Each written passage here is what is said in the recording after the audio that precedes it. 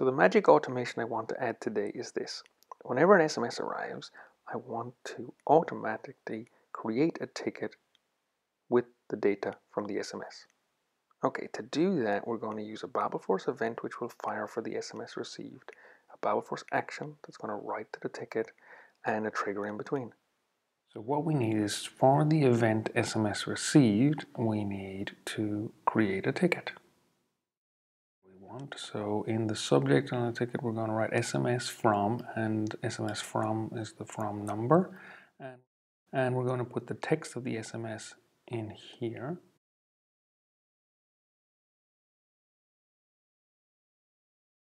So when the end user sends the SMS, we should get the message as a ticket.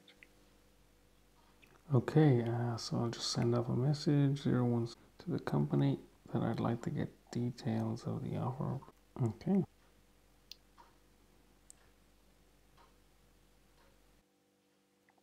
Okay, so we got a new SMS less than a minute ago.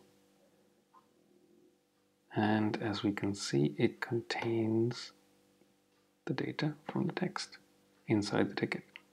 Okay, cool. That's exactly what I want.